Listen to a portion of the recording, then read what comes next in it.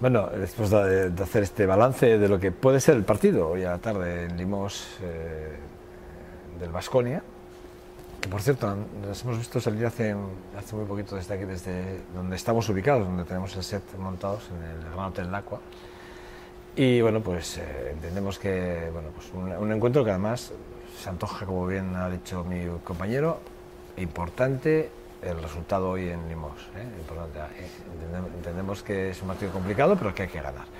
Pero dicho esto, eh, que el partido será a la tarde, vamos, vamos a, como todos los jueves, tertulia. Hoy, últimamente las tertulias las mermamos, siempre se nos cae alguien de la tertulia, cuando no es uno nosotros, pero bueno.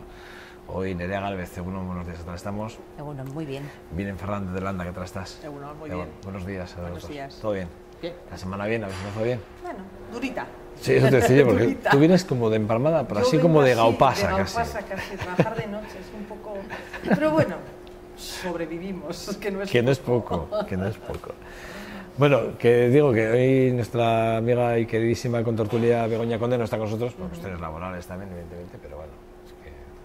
La echaremos de menos. Bueno, a ver, sí. a ver si echamos de menos de verdad. es broma, te vamos a echar de menos sí o sí, seguro. Bueno, ya te echamos de menos. Eh, yo os proponía varios temas, dos temas, dos temas que los dos me parecen dos, eh, dos temas importantes para la ciudad. Uno está en pleno debate. Estamos viendo, de hecho, a, mi invitada, a Nerea eh, Melgosa, le he preguntado al respecto de, de ese acuerdo, de ese principio de acuerdo que tienen, o por lo menos esas conversaciones que han tenido y ha mantenido Mercadona con el Colegio de Marianistas y, y, luego esa petición del propio colegio hacia el ayuntamiento para poder recalificar los terrenos que, donde está el campo de fútbol, evidentemente, la parte de abajo, evidentemente, para que se instale allí un Mercadona justo en el centro, el centro de la ciudad. Yo le preguntaba si eso es una apuesta por el comercio local, es decir, porque en el fondo a mí me, da, me hace mucha gracia que estamos escuchando a los partidos hablar una apuesta para el comercio local, comercio local, comercio local, y luego resulta que tienen dudas, algunos partidos les surgen las dudas con respecto de recalificar o no, pues porque hay un colegio que tiene ciertos intereses, ¿no? Ah, entonces ya, como hay un interés económico, hay parece como que el resto de la ciudad, o el resto, en este caso los comerciantes, ya, bueno, no sé, bueno, es uno de los temas que os propongo. Bueno, yo creo que es un tema interesante, desde luego. A ver, el Colegio Marianistas creo que, según tengo entendido, manda una carta a los padres explicándoles un poco el proyecto que tienen eh, y la necesidad que hay de que ese colegio, bueno, pues ampliar la oferta eh, docente y, bueno, pues eh, ese tema que tiene también ampliar los campos que tiene de, fútbol. Tiene un campo de fútbol de arena que cuando llueve es una porquería y quiere hacer un campo de hierba artificial grande y, bueno, pues en condiciones. ¿Con qué problemas nos encontramos? Bueno, problemas porque para ello, primero, tiene dos dos espacios que están, son dos edificios que están catalogados, con lo cual es el primer escollo. ¿no? Un edificio catalogado, bueno, es casi casi intocable, ¿no? Eh, eh, tiene unas particularidades muy especiales. Y por otro lado, por otro lado, ¿eh? estamos hablando de que realmente están intentando hacer, bueno, pues una hay, mm, vamos a ver si me sale gratis la obra a cuenta de. Yo creo que, que bueno, eh, es necesario también hacer una recalificación en el plan general y las modificaciones en el plan general tienen que estar sujetas a una justificación social, una justificación seria. Yo no sé si en este caso se puede considerar mm, el, colocar debajo un centro comercial o que Mercadona se, se instale abajo una justificación para una modificación del plan general, ¿no? Eh, yo entiendo que el colegio piense, eh, bueno, pues que eh, su tema económico y diga, bueno, a ver, si yo planto debajo en Mercadona, con lo que saco puedo hacer la obra y quedamos en tablas. Claro, pero luego aquí hay que ver los inconvenientes que va a suponer colocar ese Mercadona ahí, ¿no? Primero, un inconveniente de tráfico, o sea, si esa calle ya es un cisco de tráfico en las entradas y salidas de colegios, que hay hasta triples filas, si encima le colocamos un centro comercial, un Mercadona en este caso, con la entrada y salida que tiene que haber de camiones de logística que descargan, que cargan, con la gente que va a hacer la compra, que normalmente a esos eh, centros comerciales vas con el coche porque tienes que hacer una compra eh, grande, independientemente de que tenga un parking, que por cierto ya hay un parking enfrente, el parking de la catedral, un parking estupendo, ¿eh? Que yo no sé si, está cubierto siempre las plazas al 100%, pero que es un parking interesante ¿no? a tener en cuenta dentro de lo que es la, propia ciudad. Y por otro lado, yo creo que el colocar un mercado ahí sería un jaque mate al comercio local bueno, la calle Gorbea, que tiene un comercio yo creo que interesante, ¿no? que además apuestan, tienen muchas actividades y está muy próxima, ¿no? y otro, eh, otro tipo de comercios que están cercanos y próximos. Entonces, bueno, yo creo que sería un tema para pensarlo, repensarlo y darle muchas vueltas. O sea, yo creo que es, que es pero, repito, ¿eh? pero comercio, comercio local. Yo, yo cuando hablan de esto, yo no veo ya lo, lo ¿No ves apuesta por el comercio local? Claro, con un centro comercial grande. Es lo que me preocupa. Es que además instalarse Mercadona en, el centro de la ciudad, que además ellos dicen que, bueno, que no están muy avanzadas las, las conversaciones, no están muy avanzadas, pero sí que es verdad que ellos como objetivo quieren instalarse en el centro de la ciudad. Eso lo tienen claro. No sabemos dónde. Esta es una opción que se ha barajado, eh, no es mala opción y por eso, de hecho, se encienden todas las alarmas porque Marianistas pide al, ayuntamiento que, a ver cómo, cuál es la situación en el informe y, manifiesta, hace, eh, hace alusión claramente a estas conversaciones con Mercadona. Pero sí que es verdad que de alguna forma nos encontramos que en cualquier sitio del centro de la ciudad Mercadona se va a instalar. eso está claro. Pero sí que es verdad, vuelvo a decir, y es mi, es mi caballo de batalla. ¿Y el comercio local qué? ¿Qué, pasa con el comercio local? Yo, yo entiendo, ¿eh? entiendo la posición de Marianistas que quiere arreglar las instalaciones. Esto además, quiero decir que no es la primera vez que un colegio privado, estoy recordando Estoy recordando ahora mismo en, Santander, en los salesianos, por ejemplo, en pleno centro de la ciudad, lo que hicieron fue instalar un, parking subterráneo y con, ese, con el dinero que sacaron del pelotazo urbanístico, pues arreglaron las instalaciones del colegio. Que, no, que no, son, no es nada nuevo, ¿no? Se puede entender esas necesidades. Pero claro, ya mezclar unas necesidades muy particulares de un, de un centro escolar, en este, en este caso, con todas las... Eh, sinergias que va con todo lo que va a suceder, ¿verdad? Yo estoy de acuerdo, o sea, el comercio local pues se va a ver se va a ver muy afectado. Pero a mí sí me gustaría que esto sirviese, nos sirviese a todos de reflexión, porque Mercadona ahora su, su, afán es instalarse en el centro de la ciudad. Pero ¿qué vamos a hacer los demás? Si se instala Mercadona, ¿qué vamos a hacer? Porque ahora decimos, no hay una apuesta por el comercio local, claro, pero es que luego caemos todos en la trampa de ir a las grandes superficies. pero por eso, pero eso es, no, es una trampa, es que ese es el. Vamos a ver, al final, ¿de qué estamos hablando? Efectivamente, estamos hablando de. Mercadona es una, una gran superficie, y esa gran superficie tiene unos objetivos económicos y sociales, ¿eh? que también podríamos hablar de ellos, pero sí que es verdad que eh, Mercadona se instala en el centro de la ciudad porque está claro que sabe que el ciudadano va a ir a precio. Entonces, si va a ir a precio, eh, ellos pueden competir porque compran cantidades ingentes de un producto determinado y tú, comercio de arriba, que, tienes el mismo producto, eh, es imposible competir en precio porque no tienes las condiciones que tienen ellos. O sea, claro, y, a ver, y yo no, y yo no estoy yo, me, yo me confieso que, yo, también hago compra en grandes superficies, pero también mimo el pequeño, claro, pero es el que, pequeño comercio. Perdona, lo que quería acabar diciendo que tú lo que quieres hacer es trasladar ese problema al ciudadano. No, no es trasladarlo, pero es compartirlo, ¿eh? es compartirlo. No, socializar no. Aquí no socialicemos, porque tú lo que quieres es trasladarle el problema al ciudadano y diciéndole, hay que ser responsable, hombre, que se instale, y luego ser responsable no, de no, no, no, no, no estoy diciendo que se instale, ¿eh? No, no, yo, creo, yo creo que, que, que, ante, una, ante una gran superficie lo que tú dices es que el, responsable del consumo es el propio ciudadano, pero hombre... El que también. Entonces, que yo entiendo que, se, que se ahora mismo se hayan disparado todas las alarmas. Me parece además mm, responsable que hay grupos en el ayuntamiento que están diciendo, oiga, no vamos a cambiar el plan, el plan general para favorecer esto. Hay gente que hay, hay grupos que ya están posicionados clarísimamente en contra de esto, precisamente todos menos el Partido Popular. pensando en el, en el, en el comercio local. Bueno, y no sé si el partido de gobierno se lo estaba planteando. No, no, no, no, Ya han decidido que ellos no van, ellos, van a, ellos van a técnicos, lo que digan técnicos. Valorarán en, función de lo que les digan los técnicos, pero ya los técnicos han dicho que es bastante complejo, bastante difícil recalificar esto. Y luego, a ver, hemos hablado con Nerea Velosa también del tema del plan de ordenación el plan general hay que, hay que tocarlo. Cuatro años, llevamos más de ocho años, creo, sin tocarlo. Y bueno, yo creo que ¿Pero para qué? O sea, ¿pero tocarlo para qué? No, no, tocarlo para un bien social, tiene que ser muy claro, para, para, Esto no es un algo, social. Para algo que sea... no es pues una justificación social. Que, claro, que vaya a permitir avanzar y que vaya a permitir una, una, mejora a, a, todos los niveles, ¿no? Es que no solo una mejora en este caso para la economía de Mercadona y para la economía, en este caso de Marianistas, que, que de verdad que se, que se entiende, que ellos han intentado buscar una vía de solución económica, pero, yo, pero, yo, creo que no hay que mezclar, eh, en este caso, me vais a permitir, churras con merinas, es decir, los intereses económicos particulares con los intereses del bien general y del interés general de la ciudad. Yo creo que tenemos que hacer una apuesta seria y clara en esta ciudad por el comercio pequeño, el comercio local, el comercio de barrio, eh, independientemente de estas grandes superficies a las que todos tenemos que confesar que vamos de vez en cuando, ah, sobre todo esa intendencia ah, que compras ahí, yo hay, yo hay lo grande, que compro allí. como digo yo, la intendencia, esa, esa de, bueno, pues, de, productos de limpieza, todo ese tipo de cosas.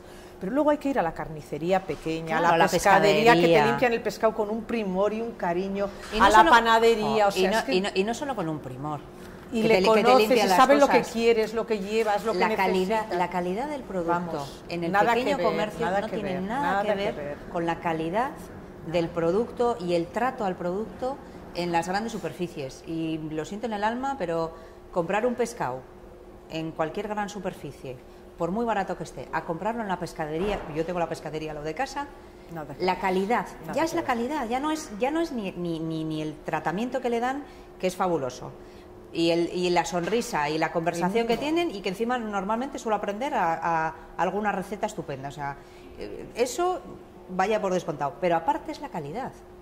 Es la calidad del producto. Entonces, el respeto a la sostenibilidad, el respeto a cómo se trata. Pues eso, nos estamos quejando de que se están esquilmando los, los mares. Jolín, pues vayamos a, eso, a ese mercado de proximidad que lo respeta. ¿Y el, porque respeta tiene, tiene, unas reglas y tiene unas líneas rojas que no las supera. Entonces, vaya, y el hacer barrio, el, hacer barrio y el hacer eh, eh, esa cohesión ¿no? entre los propios vecinos. Tú te ves a la señora mayor, oye, baja y me coge.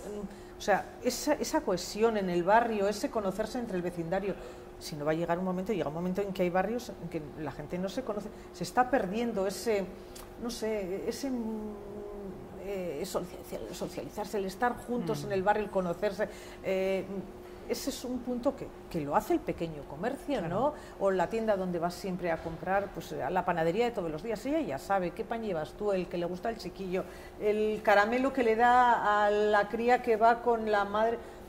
Eso es, eso, es, eso es bonito, eso es importante. y encontrarte con esa gente todos los días, ¿no? Y esos puestos de trabajo, cuidado. Claro, que a mí, a mí cuando de repente cierra un comercio dices, ¡Ah! una pena, sí. Oye, pero qué, pena, qué pena, da pena, da muchísima pena. Pero encontrarte con esa gente, ¿no? Y además, pues eso, que es, es eso, es el corazón, ¿no? El latir de el, relacionarnos. El centro comercial, en algunas cosas tenemos que verlo como algo práctico, porque como vivimos tan deprisa, tenemos tan poco tiempo. No, pero hay, cosas y hay cosas, que está muy bien comprarlas en el centro comercial, oye. Como digo, pues vas cada 15 días o a la semana y haces esa compra de, bueno, de todas esas hay determinadas cosas que, sí. Qué bien, pero el resto lo que te pones en la mesa, lo que te comes todos los días, eso que tenga ese punto de calidad, ese punto de, de, placer. Pero, pero la vida, la vida low cost. Sin ser perverso.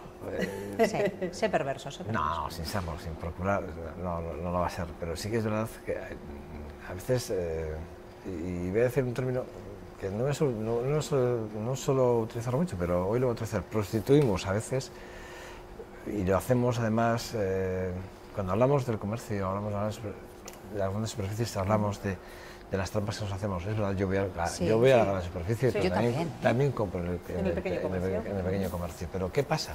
Que sí que es verdad que esto es una pescadilla que se mola la cola. Al final, eh, todos somos humanos, nosotros tenemos nuestras cuentas a final de mes y dices, pues mira, pues que la pescadería de aquí abajo me vende la merluza a X y el supermercado me lo vende a X. Sí, pero mira, igual la merluza que te la vende a X, pero si te vas al producto de temporada que no te lo venden en la gran superficie, por ejemplo, el lirio. Yo he descubierto el lirio, baratísimo, oye, y, qué, y, pescado de calidad. Vale, pero, pero es, es, a lo que voy. En el fondo, en el fondo, la situación es la que es. Es decir, tenemos una situación económica determinada, mucha gente no se puede permitir el lujo de pagar ciertos precios y el comercio local, también es verdad, porque, porque, ellos tampoco, evidentemente, dentro de sus números no pueden, tampoco probablemente, eh, poder ser, no pueden, no, no pueden tirar los precios no, una gran superficie, no puede Entonces, tú casi, casi, casi estás obligado, por eso decía, por eso iba, mi mensaje iba, vamos a, vamos a pensar que efectivamente una gran superficie, evidentemente, lo que va a hacer es perjudicar al comercio, al comercio local de la zona y del centro, probablemente, y estamos hablando de que, bueno, pues sí, efectivamente, que la situación en la que estamos moviendo no es muy fácil caer en este error, en esta trampa o en esta situación y que yo creo que hay que, cuando menos, reflexionar y pensar. Mira. Pero todos, y ahora, y ahora voy a hacer, a lo que hablaba de, de prostituir o no un poco el mensaje es, al comercio pequeño también hay que decirle que a veces hay que saber jugar a una apuesta, es decir, hay que hacer una apuesta clara por, tu cliente ¿no? de, barrio. En servicio, que ya no voy a producto a veces, a veces en servicio, porque os recuerdo que Vitoria es una de las ciudades en las que el trato del comercio o del comerciante al, consumidor pues no, no, sale muy bien para muchas encuestas. Es Vitoria. ¿Eh? Decir que, a ver, quiero decir que es todo Fíjate, son pequeños detalles, porque este detalle seguro que vosotros no lo habéis pero yo no creo que está en cuenta. ¿eh? que sí que se están dando cuenta y el comercio pequeño. Bueno, yo, yo entro a algunos comercios, yo he entrado hace poco a un comercio, no voy a decir a cuál, a hacer una compra y no me marché, pues porque ya me tocaba, pero vi dos tratos, me iba a tocar a mí y dije, pues me va a marchar. Que sí, yo ya me he marchado. No me apetece, no me apetece, no me apetece que me traten mal. O sea, claro, pero no tienes por qué soportar eso. Lo mismo que en una gran superficie tampoco lo soportas. Y a, y pero, otro, pero, pero, pero más, tú, vas a, tú vas a una gran superficie y, hay una regla que es de oro. Y es que el empleado, su jefe le ha dicho, eh, te doy la cabeza, da igual, la sonrisa de oreja a oreja. Pues yo el otro día estaba en una gran superficie, no voy a decir en cuál, y no he puesto una reclamación, pues porque tenía la letra muy pequeñita, muy pequeñita, muy pequeñita. Pero de verdad, fue un trato, me sentí fatal. Además se lo dije a la, a la, a la persona que me estaba atendiendo, que además, bueno, pues fue todo responsabilidad suya, le dije, me está pareciendo fatal lo que estás haciendo. Y no, no supo en ese momento ni decirme, oye, pues tiene razón. Además, es que tenía toda la razón. No me dijo nada. Y me sentí, y era una gran superficie, o sea que Va, yo creo que no, no vamos a generalizar, ah, no vamos a generalizar porque te encuentras en el pequeño comercio, pues el cardo borriquero, o la que esta mañana se ha levantado, o él que se ha levantado con la vena cruzada y dices, madre mía, y la gran superficie. Pero yo creo que el pequeño comercio está aprendiendo. Yo creo que tiene que cuidar, ¿eh? Está aprendiendo y está empezando a cuidar no solamente las formas, si sino la estética. Da servicio, da. quiero decir, da. Está aprendiendo poco. Te tienes que distinguir en alguna otra cosa. Tienes que hacer algo, o incluso pensar en cómo, innovar. A ver, tampoco vamos todos. Y hay planes para esto, ¿eh? que las instituciones ofrecen muchos tipos de planes para ayudar al comercio vamos a, local, ¿eh? Vamos a romper una lanza en su favor. Yo creo que se están esforzando. no, no solamente en el trato, sino también en la estética de las tiendas. Es y... de orejas para que si nos están escuchando que sepan sí. que bueno, pues que. Hay, desde a ver, hay algunos establecimientos, pues que sí, que aquí entre nosotros da por saco entrar y entonces no entras. nosotros. Directamente. entre nosotros. Entre nosotros. Y directamente, ¿qué hacemos? Pues no entramos. Pero hay otros. Jo, yo estoy pensando en, mi pescadería. Yo ahora voy, voy a, a, una gran superficie y veo el pescado y me parecería una alta traición de verdad, comprar pescado en otro sitio que no sea. Pues porque, porque les veo el esfuerzo que hacen de, de, la, de la calidad, del mimo. De... Y saben lo que te gusta. No, no, hoy no te lleves esto, no te lleves esto, llévate esto que está Uy, esto te va a gustar He cogido esto con... Ponte... Ah, Yo cuando oigo este tipo de cosas... a mí eso me encanta. ¿Sabes lo que me pasa cuando oigo este tipo de comentarios sobre qué tú haces? Dices, uy, ¿por qué no me lo No, ¿por qué a mí no? ¿Y, por qué? ¿Y a quién se lo vas a meter? No, no, pero muchas veces es porque sabe el tipo de... Hay que cómo te gusta, hay que ¿eh? Cuidado, hay que tener no, cuidado. y sabe lo que te gusta. No, pero hay veces que, que, vas y dices, oye, no te... Joder, qué, po qué poca eh, variedad hay, ¿no? Sobre todo en pescado, es, en eh, pescado. no hay muchas pescaderías que tengan una gran variedad claro, es pero, por, pero ¿por qué no tienen variedad? Y me parece muy bien, porque no se van a comprar la piscifactoría, te traen el, el te traen, te traen el pescado de calidad y el pescado natural, el que, sea, el que sea pescado. Entonces es el pescado de temporada, es volver a reconocer los productos de temporada. Y eso se conoce en el, mercado local. Cuando en la, en la, en la gran superficie te puedes encontrar cerezas todo el año me lo estoy inventando, ¿eh? No, no, es verdad. Que te las traen de no sé dónde, y dices tú, pero a ver... A 12 euros el kilo... ¿qué, me, estás, ¿qué me estás contando, no? Los, los pimientos... Los pimientos rojos, oye, comprar una lata de pimientos, comprar una lata de espárragos, que sean de aquí al lado, que es donde se cultivan, ahora. te vienen todas de Perú, de China y de no sé dónde, dices tú, pero, pero ¿cómo me puede venir el, y me puedes estar vendiendo todas las latas de espárragos y de pimientos que me vienen de Perú o de China cuando tenemos, aquí, cuando tenemos aquí al lado. Eso es. O sea, productores. Jolín. Locales. Vuelvo a repetir. Eso, es lo que no puede ser. Eh, eso es, sector primario, hay que potenciar sector primario, el relevo generacional. eso eh, es. Miren ya la a ver, ahí, claro. es que eso es lo que hay que. Claro. Pero, para eso también, yo no, pero yo no puedo entender. Pero para eso también hay que abrir grandes espacios. Eh, donde el pequeño productor, el, de, el, pequeño agricultor, el pequeño productor de, de verdurita, de esto y lo otro, pueda tener su espacio no solamente para que los jueves venda en la plaza, sino todos los días. Y que sea realmente competitivo, porque yo prefiero, yo prefiero comprar, ahora que, ahora que has, que has tallado todo lo de la carne y todo esto, no me extraña que haya, que, haya productos que realmente sean cancerígenos, porque si tú te vas a la gran superficie y, miras... Esas eh, hamburguesas que parecen de plástico, ¡plaf! Esa carne que, estará, que estará estupenda, pero tú te, te pones a mirar ¿qué lleva? y dices, caramba, y yo, me voy a la y yo me voy a la carnicería, como le digo a mi hija, a los colegas, que son los colegas que te venden la carne, que además ellos... Oye, Córtame ese trozo y pícame. Claro, eso, y lo ves, y es carne. O sea, ¿qué lleva? Carne. No lleva más. Conservantes, colorantes. Que, Pero claro, entonces eso eso puedes tomarlo dos, tres y las veces que sean necesarias, o sea, las veces que te apetezca. Pero claro, lo que te meten envasado en 14 papelitos de plásticos, dices, ¿qué me estoy comiendo? Que sí. Pues eso. ¿No? Entonces, claro, está ahí. Productor, productor, directamente. Productor, y comercio local, ¿no? Comercio local, sí, es local, pero si ya no es por economía, ¿no? Hay que potenciar. Por que por cierto, además, es, verdad que hay un, hay un estudio, ¿eh? eh lo, lo, digo así con la boca pequeña porque no me atrevo a decir el nombre del estudio, pero si me consta que hay un estudio en el que sí que se habla de si consumiésemos más en el producto local cuál sería la incidencia económica en el territorio de este y además los puestos de trabajo que se generarían. ¿eh? Cuidado. Yo no solo, no solo de salud, ¿eh? eso es, no solo, no solo económica, sino también de salud. sí, sí, sí, sí, Hay un informe, ¿eh? no, no, no, no, quiero mencionar el título porque me lo tengo, lo tengo aquí, le estoy dando vueltas a, un cambio. Pero llevamos mucho tiempo trabajando ese tema y, y no, pero hay un informe, hay un informe ya y trabajando el tema de eso, del potencial producto ¿eh? local, producto kilómetro cero en los colegios, en, en las, los hospitales, o sea, de manera que nuestros productores puedan.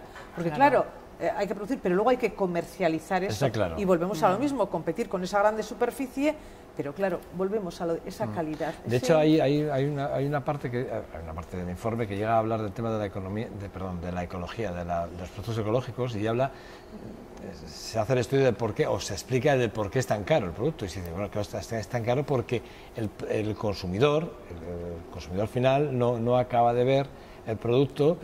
Claro, y entonces sacar el producto ecológico es muy caro y por lo tanto a la venta tiene que ser caro. Entonces, ¿qué pasa? Pues que cuando haya más consumo probablemente sea más barato. Pero si el, consumidor tenemos la culpa también en parte de la cadena. tú unas manzanas eh, del arbolito que la coges. Eh, yo esta semana pasada he cogido las manzanas de mis árboles. Tengo unos arbolitos, unos frutales. Y comete una manzana de una gran superficie es que no, no tiene nada que ver. O la fresa de la huerta. Y, la fresa que compras en el cacharro este de plástico. Vamos, no tiene nada que ver. Oye, y, económicamente, voy a romper también una lanza por el pequeño comercio. Yo me voy a la frutería, que compro en una frutería, no voy a decir en cuál, me voy a la frutería ¿eh? y me voy a comprar el tomate de pera, que estamos ahora de temporada, ¿vale? Y lo estoy comprando últimamente a 0,79 el kilo. Vete a una gran superficie y del euro 50 no te baja. O sea que, ¿dónde está también económicamente? La fruta es de peor calidad y mucho más cara mm. que en las fruterías que tienes más, más cerca de casa. ¿eh? Bueno, el Partido Socialista ha hecho una propuesta, eh, una propuesta hace poco con el tema de... Eh, ha habido mucho debate con el tema de, de los ocupas o no ocupas, se recaleó, la etcétera, etcétera. Se ha hablado mucho. Bueno, pues hay una propuesta de los socialistas eh, quiero decir el nombre, por no Blanca, Blanca de la Peña, creo Blanca de la Peña, sí, es la concejala, de, del Partido Socialista. Eh, y sí que es una propuesta que ya se hizo anteriormente. Nacionalista anteriormente, sí.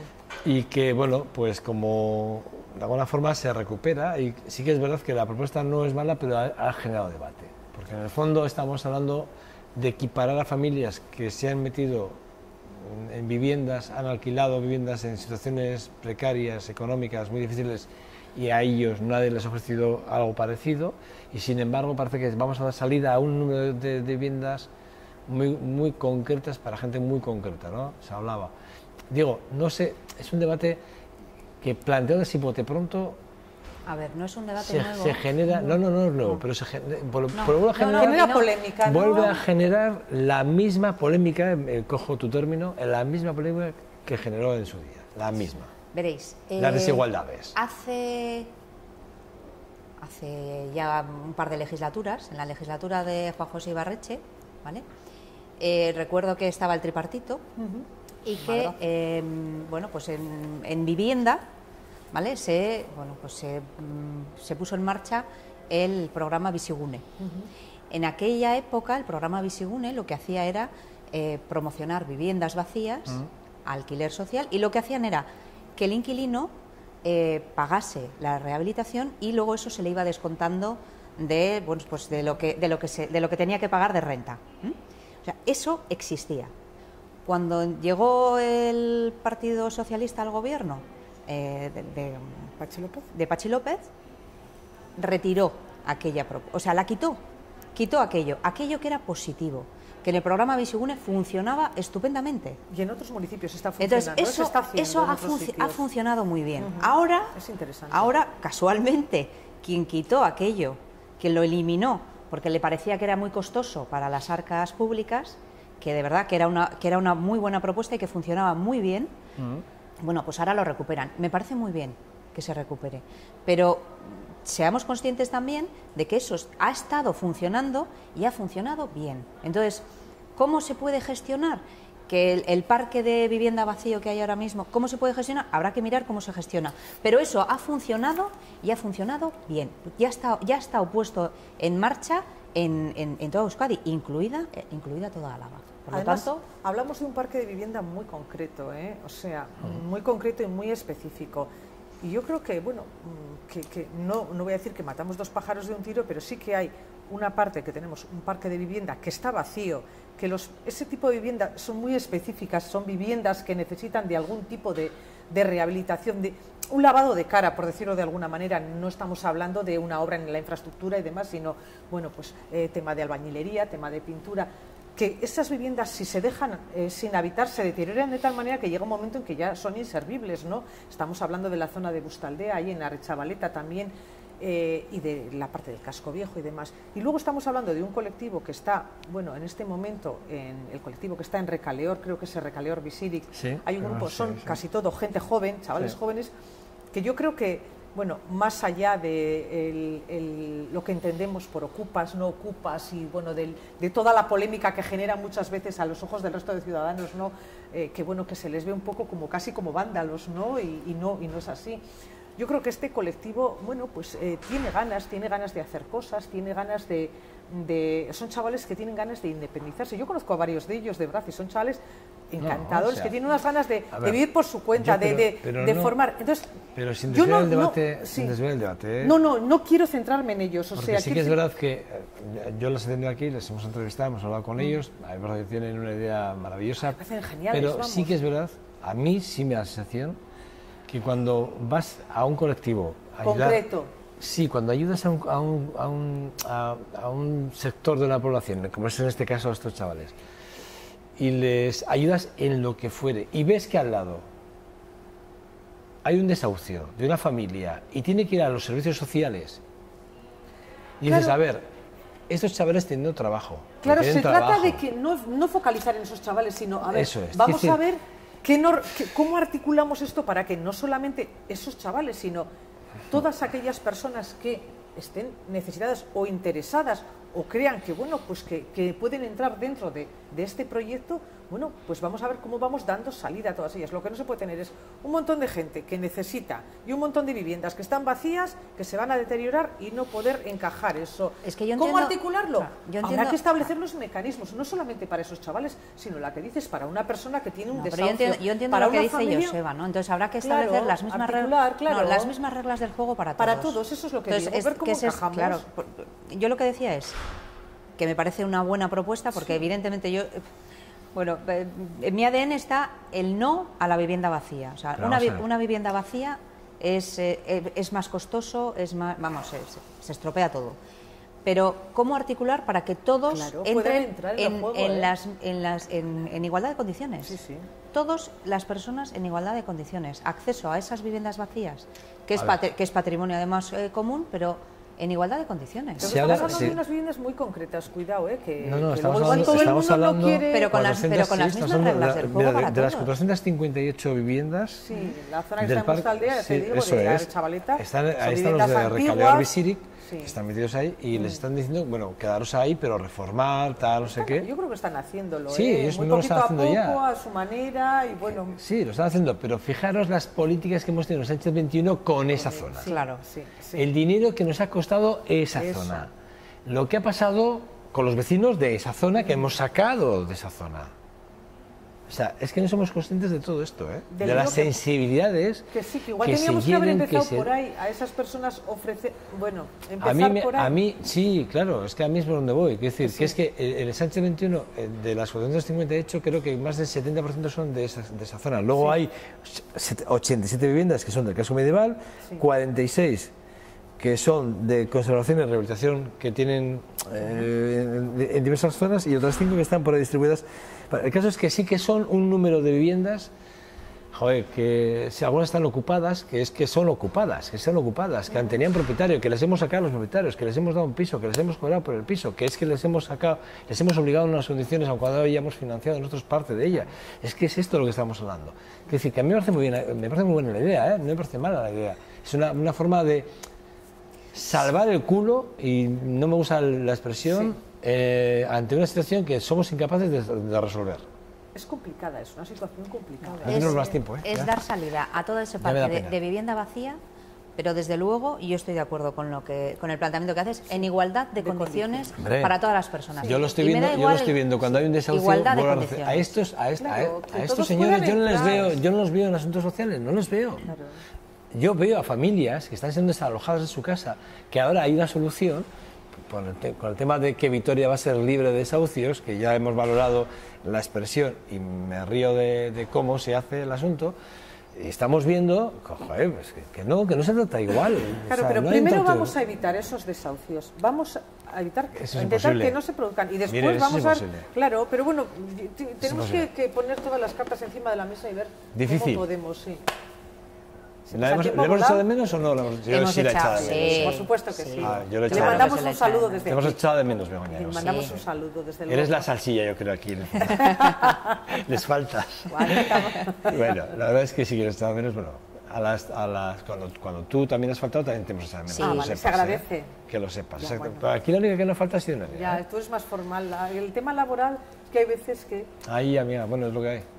Sí como dice el otro, es un lujo. Sí que haces un esfuerzo viniendo a este programa y yo lo agradezco. en este caso, tu esfuerzo, por ejemplo, de hoy es tremendo. Estoy encantada, o sea, que no ha habido problema. Mire, gracias, vale. A vosotros. Nerea, que te, que tengo que decir que ya lo sepas. Muchas gracias, ¿eh? Vale. Begoña, musuchus. A cuidarse. Nada, y a ustedes les espero dos segundos, que ya está Donca por aquí. Creo que hoy vamos a ver algún que otro vídeo. Pero nada, breve espacio para la publicidad y aquí les espero. Hasta ahora.